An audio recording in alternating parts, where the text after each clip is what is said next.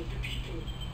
It is also called the ancient world city or Betchupul, according to United Nations Educational, Scientific and